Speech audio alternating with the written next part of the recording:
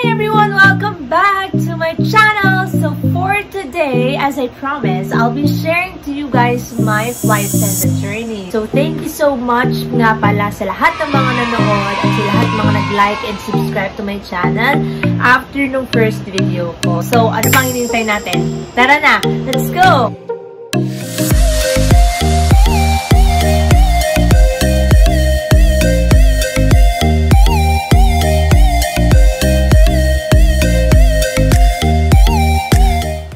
So when I was in college, hindi ko in-expect na pursue ako pagiging cabin crew after I've graduated. So, as I've mentioned on my first video, sobra ako naging dedicated sa program ko before. So, I've tried to become a theater director, a director sa film, writer, photographer, everything about arts natutunan namin siya sa pagiging com art. So, inakala ko na after I graduated, I will pursue that career. However, when I reached my internship, feeling ko hindi ko lang talaga calling yung, yung nasa office. Papasok ka pa lang ng 7 a.m.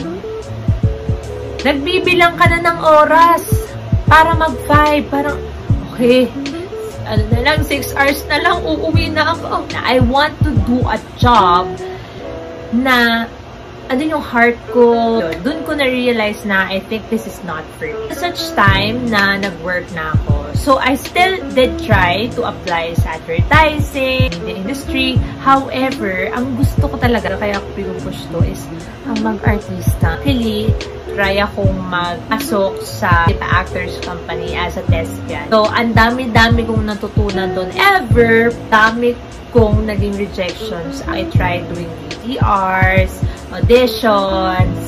Hi guys, I'm DJ Gio and welcome to MIT 20. Dumating sa point na hindi ko na alam kung ano bang gagawin ko kasi sobrang na-feel ko na rejections and all. Suggest yung ate ko na why don't I apply as a cabin crew. So sabi ko, wala naman akong any idea about sa pagiging cabin crew. Pa, hindi talaga ako marunong mag-makeup. Yung grooming skills ko before as in zero. At ang masama pa nito, back 2016, walang mga YouTuber na mga nagsishare na paano mag maggawa ng grooming, paano yung gagawin mo, ganito, ganyan. Mga vlogs, pero hindi sila kompleto. So, parang ako, wala talaga akong idea paano ba yung gagawin ko that time.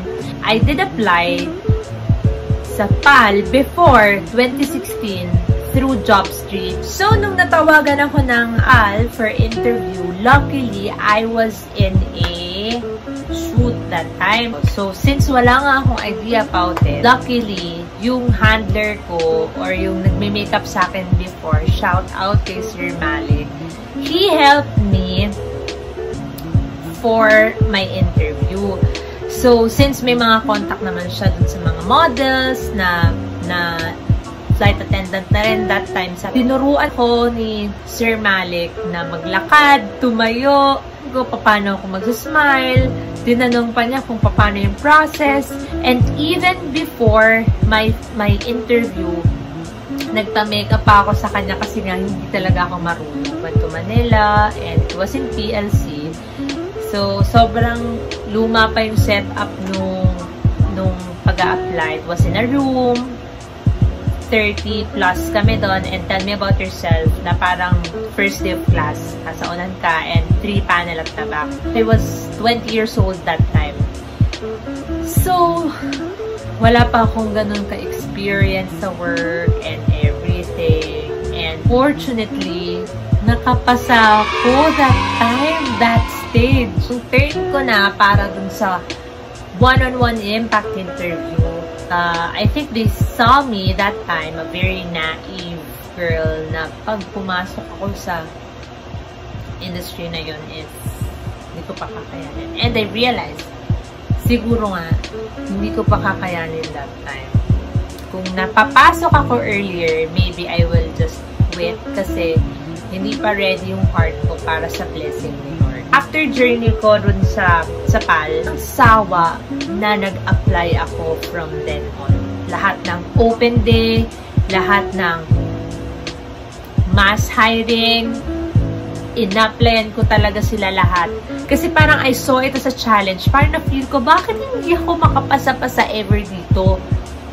Nakakainis. Ano bang mali sa akin? Bakit ba ako? I have learned a lot from them. As in, dun ako nahasa kung ano ba yung mga dapat gawin kapag nag-a-apply. So, dun ko na-realize na, ah, dapat pala ganito, ganyan. Ah, dapat pala ganito itsura ko, ganito, ganyan. Pati papers ko maayos, blah, blah, blah, blah. So, mind you guys, hindi ako pumasok ng F any FA school. Hindi rin ako pumasok na kahit anong seminar. So, yun yung tinake kong opportunity para ma-hone ko yung sarili ko. Para sa every time na mag apply ako, I will be the better applicant dun sa last rejection na nadanasan ko. Fast forward, 2018. So, nabigyan ako ng opportunity to become a cabin crew sa, sa Air Force. And it was overwhelming experience and life-changing experience for me. So, I was flying and working as a military. I've experienced wearing uniform, of course. I've also experienced um, holding guns, shoot and shooting range. Ang sundalo ko talaga and doon ako na natutong magpaka-cowboy. Dito na bago yung ugali ko, paano ako makitungo sa tao. Hindi lang IQ yung nahon sa akin, but of course EQ. Kasi sa job na to, your emotional quotient also matters a lot. And I think God put me in that position kasi He wanted me to to be ready kapag binigay na niya yung blessing niya sa akin. However, time comes na parang dumating sa point na tinanong ko sa sarili ko na, is this for me? Trust God. He has a plan for me.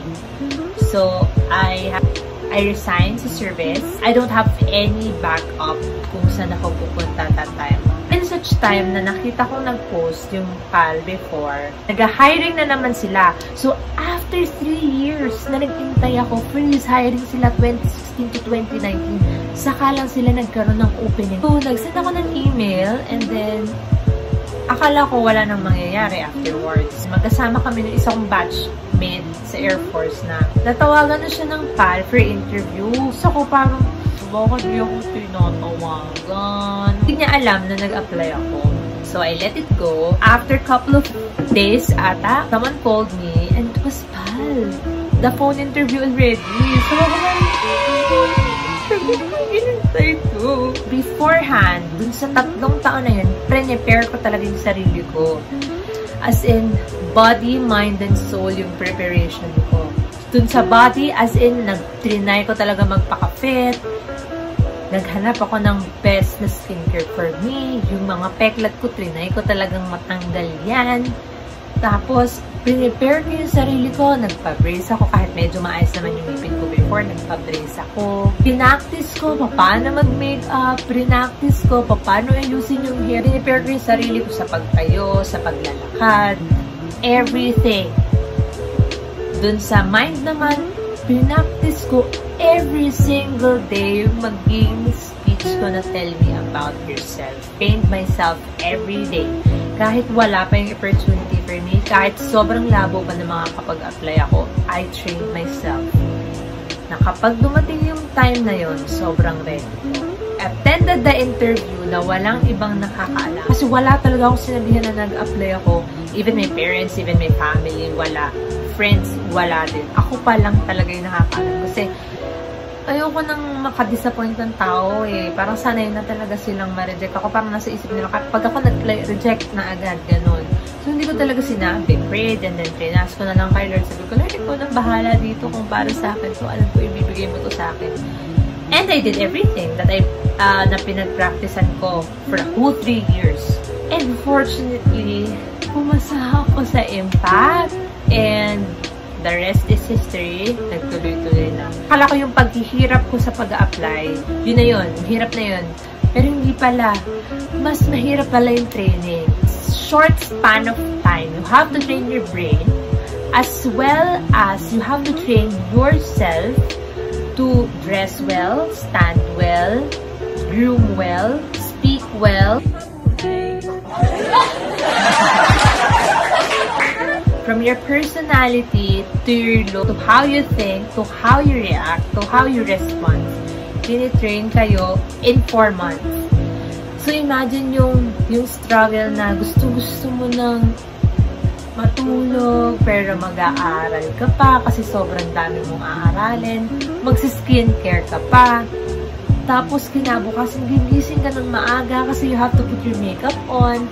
Mamaya may na-chip na nail. So, kailangan mo i-polish ulit sila ng red. And so, yun yung struggle namin every time. Kailangan mo mag-wash ng stockings kasi kinabukasan gagamitin nyo pa. Tapos may magre-run pa na stockings. Kailangan mo palit, paalis ka na. Imagine the struggle. So, yung, yung joy after mo matapos yung training, sobrang sarap kasi napagdaanan mo lahat at nakaya mo yun. After namin ma-release, uh, we are under probationary period and hindi yung aral hindi pa natatapos dun sa training. We have to continuously study kasi may mga check rights and may mga panel board and everything until such time na we thought okay na yung lahat pandemic hit. So, dumating sa point na sobrang nakakalos kasi we did everything uh, para sa job na to and sakto na nangyari tong pandemic.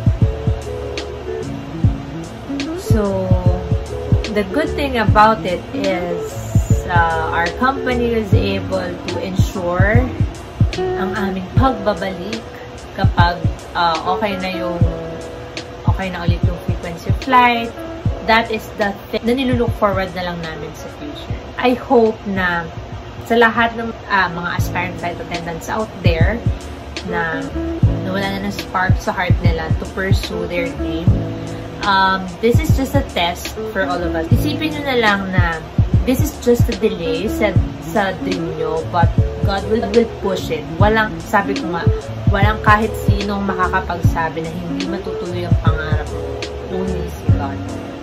So, I hope you guys had something to learn from my flight attendant journey. And I hope na mas na-inspire kayo na pagbutihin yung sarili nyo, i-prepare yung sarili nyo na kahit wala pa, wala pa yung opportunity, um, iset nyo na yung mind nyo na makakarating din ako doon at pag nakarating, napuntahan ko yon or narating ko yun, ready ready ako kasi nag prepare ko na beforehand sarili ko. So, yun lang. And thank you so much for watching until the end of my journey, flight attendant journey. So, I hope you guys like, share, and subscribe to my channel so that you can be notified sa mga next na i-upload ko.